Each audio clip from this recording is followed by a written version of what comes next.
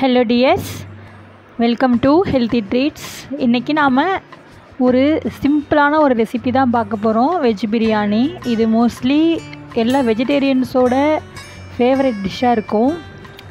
சரி இது வாங்க. எப்படி செய்யலான்னு பார்க்கலாம். ரெண்டு டேபிள் ஸ்பூன் கீ சேர்த்துக்கோங்க. அதுக்கப்புறமா நம்ம இது கூட நம்ம குக்கிங் ஆயில் இருக்கு இல்லைங்களா அதை யூஸ் பண்ணிக்கலாம். ஸோ ஃபுல்லாகவே நம்ம கீ சேர்த்த மாதிரி ஒரு கம்ப்ளீட் லுக் கிடைக்கும். ஸோ இப்போ நம்ம தாளிக்கிற பொருட்கள்லாம் சேர்த்துக்கலாம். பட்டை லவங்கம் ஏலக்காய். இது மூணுத்தையும் சேர்த்து வறுத்ததுக்கு அப்புறமா மூணு பெரிய சைஸ் வெங்காயம் நீல வாக்கில் கட் பண்ணி சேர்த்துருக்குறேன். ஸோ இது நல்லா வதங்கினதுக்கப்புறமா நாலஞ்சு பச்சை மிளகாய் சேர்த்துக்கலாம். ஸோ இது நல்லா வதங்கினதுக்கப்புறமா ஜிஞ்சர் கார்லிக் பேஸ்ட் இது ஒரு ரெண்டு டேபிள் ஸ்பூன் சேர்த்துக்கோங்க. அதிகமாக சேர்த்தோம்னா அந்த ஸ்மெல் அப்படியே இருக்கும். ஸோ இது ஒரு ஃப்ளேவருக்காக ஸோ இப்போ நம்ம மசாலா பொருட்கள் சேர்த்துக்கலாம். ரெண்டு tablespoon red chilli powder ரெண்டு டேபிள் ஸ்பூன் கரம் மசாலா ரெண்டு டேபிள் ஸ்பூன் பிரியாணி மசாலா ரெண்டு டேபிள் ஸ்பூன் மல்லித்தூள்.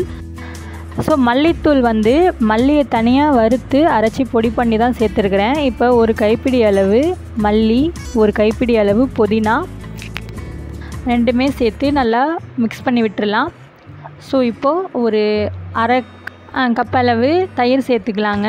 கடைசியாக தக்காளி ஆட் பண்ணிக்கலாம். தக்காளி நம்ம ஃபஸ்ட்டே சேர்த்து மிக்ஸ் பண்ணோம்னா மசாலாவோட ஃப்ளேவர்லாம் நமக்கு சரியாக கிடைக்காது. ஸோ எப்போதுமே தக்காளியை கடைசியாக ஆட் பண்ணிக்கோங்க.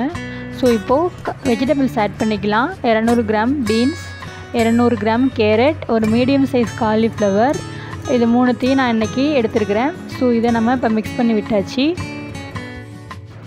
நான் ஒரு கப் ரைஸ்க்கு ஒன்றரை கப் தண்ணி ஊற்றணும் நான் இன்றைக்கி ரெண்டு கப் எடுத்ததுனால மூணு கப் தண்ணி மிக்ஸ் பண்ணிக்கிறேன். ஸோ தேவையான அளவு உப்பு ஆட் பண்ணிக்கோங்க. மீல் மேக்கர் வேணுங்கிறவங்க சேர்த்துக்கலாம். நான் ஒரு கைப்பிடி அளவு சேர்த்துருக்குறேன். பாஸ்மதி ரைஸ் ஒரு அரை மணி நேரம் ஊற வச்சுருந்தேன். அதை தான் இப்போ ஆட் பண்ணிக்கிறோம். ஸோ இதை நல்லா கலந்து விட்டுக்கலாம்.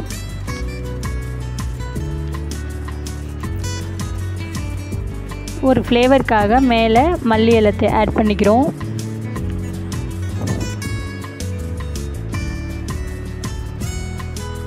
ஸோ இப்போ நம்ம குக்கரை க்ளோஸ் பண்ணிக்கலாம். மீடியம் ஃப்ளேமில் ஒரு விசில் விட்டால் போதும். ஏன்னா ரைஸ் ஆல்ரெடி ஊறி இருந்ததுனால சீக்கிரமாக வெந்துடும் ஸோ இப்போ நம்ம side by side onion raita ready பண்ணிடலாம்.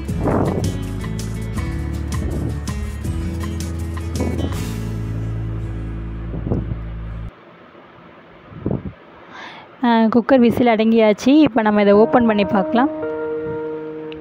அவ்வளோதான் நம்மளோட வெஜ் பிரியாணி ரெடி ஆகிடுச்சி இப்போ நம்ம இதை ஒரு பிளேட்டில் ட்ரான்ஸ்ஃபர் பண்ணிக்கலாம். ஸோ ஆட் பண்ண வெஜிடபிள்ஸ் எல்லாமே நல்லா வெந்திருக்கு.